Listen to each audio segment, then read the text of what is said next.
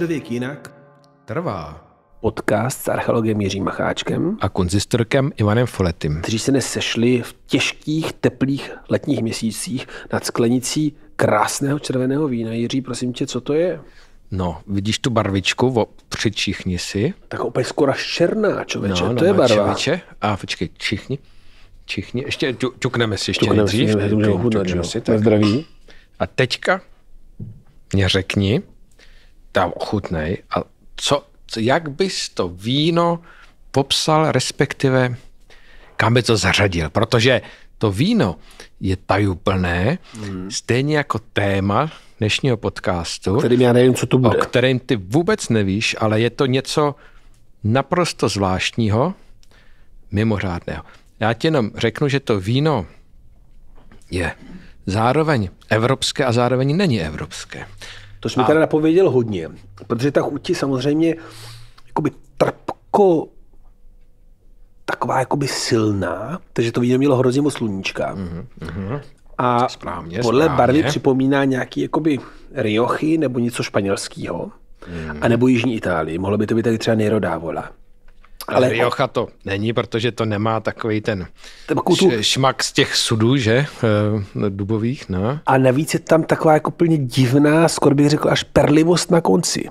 Mhm, Mm, Takový jako úplně perlivý víno, no ale protože ty jsi trochu prokec, tak jestli to není Evropa, je to Evropa, tak to musí být něco mezi Evropou a Afrikou. No, A no, tím pádem logicky usuzuju, že se jedná o ostrovní víno. no, je to ostrovní, jednoznačně. A jsou to ostrovy, které opravdu sice jako formálně k Evropě patří, ale jsou to vlastně ostrovy africké, mm. že?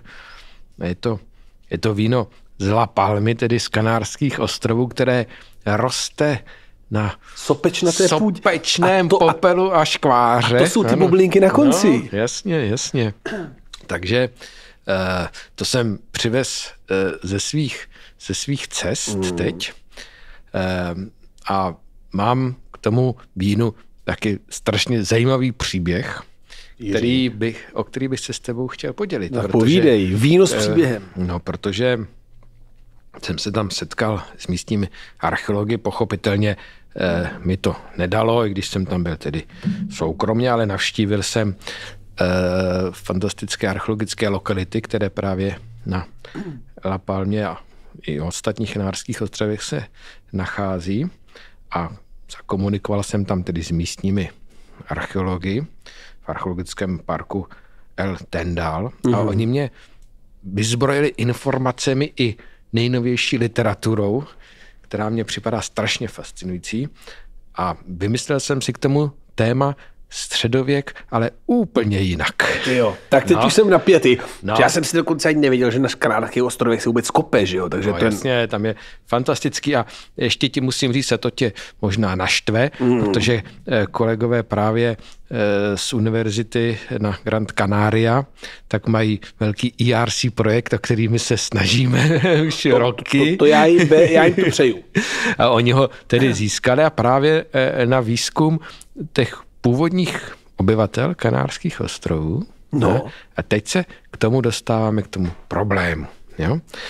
E, totiž, co to vlastně je ten středověk a jak bychom ho měli jako by v našem pojetí chápat, ne? Když se bavíme o něčem mezi Evropou a Afrikou. No, tak řekněme, jako kdybys měl říct, co nám definuje středověk. Jako jo? geograficky nebo časově. Obsahově, jako co, co, co pro tebe jako zahrnuje ten středověk, hlavně třeba ty počátky nebo formování toho středověku jako takového, jaké ty ingredience bys měl musí být. namíchat, jo, aby, aby, aby to byl ten středověk, o Hele, kterém na- se bavíme. Na to, na to bych odpověděl s Jašem Elsnerem, tím jeho projektem Empires of Faith. Mm. Byl to projekt, který se snažil vlastně mapovat pozdní antiku mm. v křesťanském kontextu Středomoří, v islámském kontextu Středomoří mm. a potom ale v hinduistickém kontextu mm. a šel vlastně přes celou Asii. A to, co on mm. říkal, že jsou to tři zásadní věci. Mm. Velké říše, takže mm. jako imperiální složka, velká nová náboženství, anebo revival starých náboženství, které mají nějakou novou, nové vzepětí a vzájemná komunikace. Mm-hmm. No a to je právě strašně zajímavý příklad těch kanárských ostrovů a těch jejich uh, to, uh, dějin osidlování, ano. jo? protože uh, to jsou právě výsledky těch nejnovějších archeologických výzkumů, protože první lidé, kteří doložitelně vstoupili na Kanárské ostrovy, byli Římani. Jo, který tam vstoupili někdy okolo roku nula, kdy... A tam nikdo nebydlel v té době? Tam opravdu nikdo jakoby nebyl, to byly neosídlené ostrovy a právě ti e, Římani jako první dopruli na malinký ostrov Lobos ne? Mm-hmm. a tam se na nějakou dobu usadili. Máme tam nálezy amfor e, římských a jsou tam i právě radiokarbonové datování, které nám jako přesně datuje tu jejich e, přítomnost. Pro mě ta antická tradice, tam, kam vstoupila někdy noha římského legionáře, tak to já chápu jako jeden z těch základů toho našeho středověku. Tohle že? Vlastně jo? Ty, takže ty ho vnímáš jakoby vlastně eurocentrický středověk. Protože vnímáš středověk jako evropský fenomén. Zatímco Elsner to vnímá jakoby vlastně možná ne globálně, ale světově, tak to vnímáš jako v středověk jako, jako pozůstatek římské říše, nebo ne pozůstatek? No, jako následov, následovník, jo, jako, jakousi kontinuitu, která nás to je ten středověk, je to střední věk, jo, který nás propuje s tím, s tou antikou, s tím starověkem a e, s novověkem. To, to bereš normálně vazariánský. No, no, no, no, no, ale ale hnedka se to budu snažit dekonstruovat, ano. že na tomhle tom příběhu, protože oni tam sice, ty Římani dopluli nějakou dobu, desítky, možná třeba sto let tam pobyli, eh, existovali, ale nebyli to oni, kteří vlastně nakonec eh, ty ostrovy definitivně osídlili, mm. ale přišli tam úplně jiní lidé, vlastně nahradili Eh, ty Římaně vytvořili úplně novou jinou civilizaci. A odkud přišli? No a to je právě ten strašně zajímavý výsledek tady to jejich bádání jednak archeologického, jednak genetického. Mm. Tam přijeli berbeři. Berbeři ze severní Afriky. Afriky. A jak se tam dostali no, na velbloudech? A to je právě ta jedna z těch největších, největších záhad, eh, co vlastně jsou spojeny s těmi kanárskými ostrovy, protože oni byli dvě teorie. Ono se už uh-huh. jakousi delší dobu vědělo i archeologicky vzhledem nějakým nálezům a, a typologii těch předmětů, e, že tam asi ty berbeři vlastně tvořili základ toho místního obyvatelstva, které potom bylo konfrontováno na konci 14. století ze Španěli, kteří vlastně ty ostrovy dobývali jo, a tak dál, bojovali nebo vyhladili v podstatě, nebo asimilovali to místní obyvatelstvo ale moc se nevědělo, kde se tam... Asimilovali ty... Španělé dělají vždycky genocidu, takže no, tak, asi, asi tak tímto způsobem bychom o tom mohli uvažovat. No, ale nevědělo se, kde se tam ty původní obyvatele vzali. Byly, bylo na to několik e, e, teorií. E, jedna z nich je, že je tam přivezli Féničané. Mm-hmm. Druhá... To že, bylo moc brzo? No to bylo právě moc brzo a to právě vyloučili teď ty nejnovější, nejnovější výzkumy, které byly publikovány právě v tomto roce ještě v PNS, jednom z nejvýznamnějších světových časopisů. To je ten výsledek toho jejich evropského ERC projektu. Takže Féničané jaksi odpadají. A druhá ta teorie bylo, že je tam přivezli Římani. No? Což dává smysl. Což dává smysl. A teď se řešilo vlastně, proč by je tam přivezli, z jakých mm. důvodů a tak dál. A teď se rozvíjely jakési teorie o tom, že to třeba mohli být nějací jako za trest, jo, trestanci, to vznikla jako trestanecká kolonie těch Římanů. První a nebo, a nebo že si je tam přivezli jako na práci, mm-hmm. jo, ty, ty berbery, uh, kteří tam měli, já nevím, lovit ryby nebo osidlovat, kolonizovat uh, tyhle ty ostrovy pro ty Římany. Jenže tahle teorie teď těmi novými výzkumy taky padla. A proč? Protože mezi těmi Římany a, a tím nejstarším berberským osídlením je jakási chronologická mezera. Kolik? Není to moc, eh, možná, že to bylo jenom pár desítek let, ale eh, zdá se, že ta kontinuita tam není, že oni eh, se neprotnuli a taky ty Římani vlastně byli jenom na tom jednom z těch ostrovů, nedá, nenacházíme ty jejich poznatky na jiných těch ostrovech, a těch je řada, že, těch kanárských ostrovů, a nikde se nenašly pozůstatky jakoby třeba těch římských amfor na těch sídlištích těch, berberů. těch, těch, těchto těch berberů tam, ne? No a teď je ovšem ta největší záhada, jak se tam vlastně ty berbeři dostali, protože nikdo nezná, nemá doklady o tom, že by byli mořeplavci. Přesně no to jak říkal. No ty velbloují, že jo? No, jedně, no koráby pouště, no, ale... No právě. No ale ještě větší záhada, co jako je, že jak se ty lidé toho berberského severoafrického původu dostali na ty ostrovy, tak sebou přivezli jakýsi a oni to říkají neolitický balíček ve smyslu té nejzákladnější zemědělské výroby uh-huh. subsistence, uh, ale v okamžiku, kdy se dostali na ty jednotlivé ostrovy a oni je osídlili všechny najednou v zásadě, uh-huh. tak už spolu přestali komunikovat a nepřejížděli z jednoho ostrova na druhý vůbec. Vůbec ani se nedostali zpátky do té Afriky zpětně. A taky, když ty Španělé dobili dobývali postupně ty ostrovy. Nejdřív eh, získali eh, Grand Canary, kde christianizovali to místní obyvatelstvo a teďka oni je chtěli použít, to místní obyvatelstvo, aby christianizovali ty další ostrovy, pomohli jim s tou christianizací, tak to narazilo na ten problém, že oni si nerozuměli, protože oni měli už úplně divergentní ty jazyky. Takže oni se tam dostali a pak už neuměli cestovat po moři. Ne, a absolutně necestovali, ne? A to je ta absolutně největší záhada, ale ta úplně, ale úplně největší záhada je, že se zdá, že na některých z těch ostrovů oni postupně úplně opustili zemědělství a stali se opět lovci a sběrači. No. To znamená, tady máme ten návrat rusovský k tomu původnímu, jo, no, protože barbarovi. evidentně to nebylo potřeba. No jasně. A... Když jsi takovým jako blahopitů eh, no, pomalu rajským, tak proč by no. se trápil? A tam člověk vidí, jako samozřejmě teď ty ostrovy jsou zaneseny různými importovanými e, rostlinami a tak dále, ale, ale oni jsou jako velice plodné a teď e, oni tam dokonce, ale ono, to se zrovna nevypadá úplně chutně, ale e, ví se, že oni tam lovili místní veleještěrky, to byly ještěrky, které, které měly víc než metr, tak to e, byl jeden ze zdrojů jejich potravy. A pak tam lovili i obří krysy, které byly větší, větší než králík nebo zajíc. Takový. No a samozřejmě jedli, a to tam je krásně prezentováno v, v, na těch výstavách, e, plody moře, že jo, měli kozy, e, to pastevectví jak si to vydrželo. to vydrželo, ty honili tam do těch hor, že jo, dělali si z toho e, nějaké výrobky potom mléčné a tak dále, ale jako ten fascinující jakoby eh, jev nebo vývoj postupné ztráty jakýchsi civilizačních výdobytků, které my máme třeba spojený s tím, s tím zemědělstvím. A vlastně jakoby, a teď to řeknu, ten návrat jo, do, toho, do toho zárodečného stavu.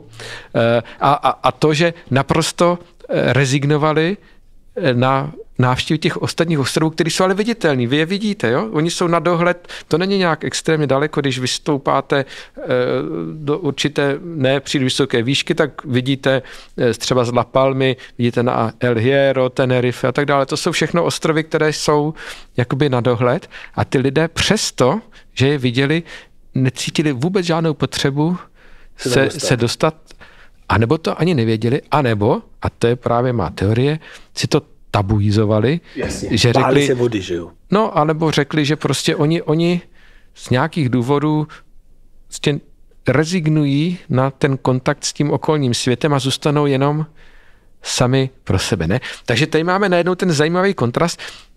Tohle to se všechno odehrávalo v podstatě v rámci našeho středověku, protože oni, to se doložilo těmi nejnovějšími výzkumy, osídlili ty ostrovy někdy ve třetím, čtvrtém, pátém století našeho letopočtu. A v podstatě eh, ten vývoj vrchol někdy v devátém, desátém století, to je ta naše doba, řekněme, karolínská, kdy na některých z těch ostrovů a ostrovech, a oni taky jsou divergentní ty vývoje, různý, na některých z nich, zřejmě na té Lapalmě, úplně ztratili to zemědělství, přešli jenom na to pastevectví, sběračství a tak dál, zatímco jinde ale třeba se snižovalo to spektrum jo, těch rostlin, které, které pěstovali. No, takže eh, každý ten ostrov se vyvíjel v podstatě úplně jinak. Jo? Ten jazyk se, jazyk se jako proměnil, jo?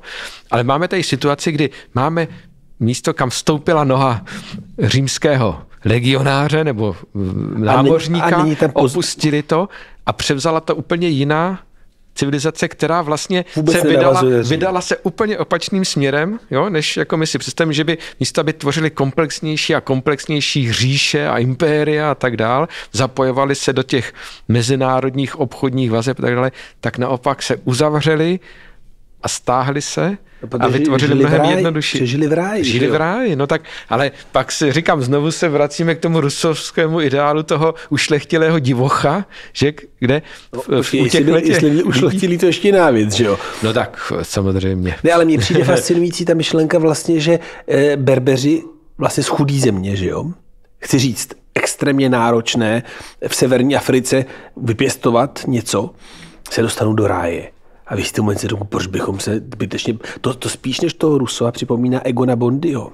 Egon Bondy přece jednou říkal, že pravěk byla ideální doba, protože se pracovalo dvě hodiny denně. A to ještě jenom ženy. A zbytek času se leželo a filozofovalo. Dobře, Egon Bondy nebyl úplně jako genderově vyvážení ve svém přemýšlení, nicméně je ta myšlenka eh, nějakého jako vlastně anticivilizačního stavu, mm, mm, který ale nutně neznamená, že se nevyvíjíš.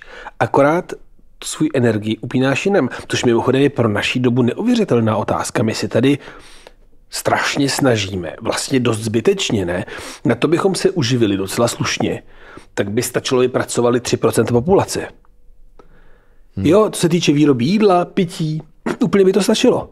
No. A my ostatní bychom mohli filozofovat a to možná těch kárských ostrovech dělali ty no. berberové. No a oni, oni jako nebyli jako nějak, jako řekněme, jako primitivní úplně, oni měli své umění, jo, oni měli svou kulturu, e, právě zachovalo se tam poměrně početné, e, početné ty e, rytiny skalní, že oni jako typicky pro ně jsou takový spirály, že, které oni, oni zachovávali, takže ale to, to právě ukazuje, že totiž ty se na to nahlížel prismatem kapitalistického jakoby vnímání dějin. To znamená, že evoluce je, když víc vyrábím hmm. a přináší, to jako víc to vynáší.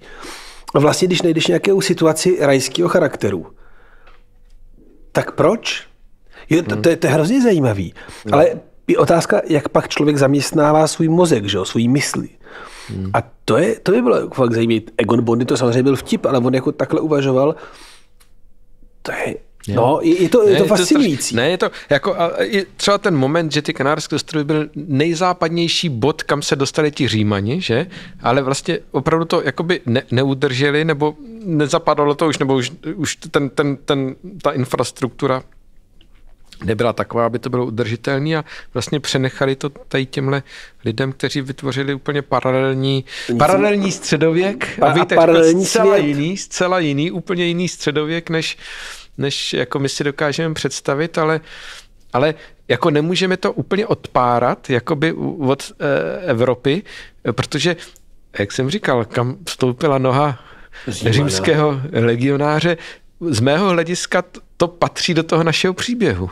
Jo? Určitě patří. Středověkého, ale, ale, ale oni vytvořili úplně něco, něco jiného, jiný, jiný svět. Já, já myslím, že to opravdu jako nastavilo vlastně zrcadlo tomu našemu příběhu dějin, že jo? Hmm. Že my vlastně fakt jako máme v těch postevolučních teoriích snahu um, aplikovat e, jako, jakoby evoluční kritéria na vlastně historii. A tady hmm. se ukazuje, že lidi můžou být asi šťastnější a spokojenější, když přestanou pěstovat obilí, protože ta země je tak bohatá, že jim dá všechno, co chtějí. A to se mi jako vlastně hrozně líbí. Ta myšlenka, že není jenom jeden možný příběh a že není jenom jeden kánon. Hmm, hmm. Tím se ovšem eh, dostáváme ke knize, kterou budeme muset probrat v některým, některém z příštích podcastů, která je teďka úplně masivně diskutovaná v různých médiích a mezi, řeknu, intelektuály, historiky, archeology, Gréber a Vengrou, antropolog a archeolog z Británie sepsali knihu Úsvit všeho, mm-hmm. kde vytváří úplně paralelní, paralelní dějiny lidstva právě s tím, že upozorňují na tyhle ty přechodové eh, kultury někde na přechodu mezi paleolitem, mezolitem, neolitem, eh, tím zemědělstvím. Říká, že ten, že ten vývoj, ehm, kterýho my jsme součástí, hmm. že to je jeden z mnoha možných a že ti lidé jako dost dlouho experimentovali s různým společenským uspořádáním a to, že ty komplexní civilizace musí být spojeny s zemědělstvím, s efektivitou, s ekonomikou, s útlakem, s násilím, že to je jenom jedna z možných cest a že ty lidé v té minulosti, v hluboké, dávné, pravěky minulosti, vlastně měli různé alternativy, které i poměrně úspěšně testovali a to, že se to lidstvo vydalo tím jedním směrem, kterého my jsme teď součástí, tak to je v podstatě, není to naprosto nezbytná nutnost. Jo? A tenhle příběh těchto uh, původních obyvatel těch kanárských ostrovů je toho taky jednoznačně důkazem. Jo? To je hrozně zajímavé, protože vlastně taky klade tu otázku potom, do jaký míry je to nezvrátitelný proces, že? A samozřejmě my máme v nedávné historii několik příkladů lidí, kteří se snažili jinak. Celé to hippie zhnutí, že jo, které vlastně snažilo vrátit k přírodě, žít právě tím jako nenáročným způsobem, necivilizačním nebo mnohem méně civilizačním a nenásilným, tady vždycky byli. A to, že to mohlo fungovat po tolik století a evidentně vlastně, to mě to úplně fascinuje, že ty snižuješ tu jakoby civilizační stopu, ale evidentně jako seš asi, nevím, šťastnější, ale mohli bychom říct funkčnější, protože prostě evidentně na Kanárských ostrovech pěstovat obilí asi nic moc, ale lovit ryby a mořské plody a chytat tam tady ještěrky je prostě jako asi efektivnější způsob, jak no, žít. Takhle e, přežili tam úspěšně tisíc let, že? Což je dost. Což je dost, než je teda e, Španělé. ty Španělé vylikvidovali. A, hele, a ten, ten kontrast jako s tou naší dnešní civilizací si tam člověk uvědomí teď konkrétně, když tam projíždí tím ostrovem a Eh, všude vidí obrovské banáníkové plantáže, eh, které jsou eh, jako ekologicky naprosto devastující pro ten, pro ten ostrov, protože každý banánovník kterých jsou tam tisíce a tisíce a tisíce, že v takových obrovských plantážích monokulturních, tak spotřebuje denně 30 litrů vody, že? A e, jenom proto, že někdy v 19. století se angličani rozhodli, že potřebují banány, tak e, tam e, vlastně zavedli tohleto monokulturní banánové hospodářství, které nahradilo předtím tam pěstovali cukrovou třtinu nebo cokoliv jiného, jo. No ale to je teď v úplné krizi zase, protože pochopitelně oni nemají šanci konkurovat jakýmsi banánům z jižní Ameriky, z Ekvádor nebo odkuď, takže to tam musí dotovat silně a, e, výrobu, která vlastně ničí jo, to místní prostředí, e, protože tam vycucává z těch ostrovů e, vodu, která tam je nedostatková, respektive uložená v jakýchsi podzemních zásobnících, které nejsou, zdá se, nekonečné mhm. a vyrábí něco, co vlastně ten svět ani nepotřebuje, ale protože jsou na to specializovaní a dostávají ty dotace zemědělské, jo, tak je to takový ten uzavřený kruh toho sebedestruktivního eh, jednání těch lidí. Tam. Je zajímavé vlastně, že máme teda ty dva vedle sebe stojící modely. Ten model nějaký adaptace ekosystému, že jo? Hmm. A ten ekosystém ti vlastně říká, já nepotřebuju abys tady se moc snažil, protože na přežití toho máš víc než dost a snaha si podmanit ekosystém jako pán tvorstva a pán přírody a ten vlastně ten ekosystém ničí. To je, hmm. Mně se to líbí i protože já jsem teďka vydal článek o tom, proč ve 12. století jedna komunita, která mě zajímá, v Kong ve Francii začíná jakoby končit. A moje hypotéza je úplně stejná, že přečerpali ekosystém a vlastně to z ní likvidovalo tu komunitu jako celek, hmm, hmm. která vlastně zmizela eh, z evropské mapy tím pádem, protože to přepískli. Tak to je teda hrozný memento Jiří. Takže ne. se dostáváme vlastně od původních berberů, kteří přežili tisíc let na ostrovech, asi docela spokojeni, protože nepotřebovali se koukat nikam jinam, ani nepotřebovali moc pracovat, evidentně, do systému, který ty samé ostrovy vykořišťuje a potažmo ničí. No, ničí. No.